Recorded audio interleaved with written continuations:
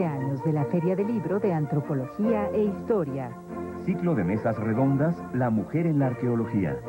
Coloquio Internacional de Museos, habla con ellos.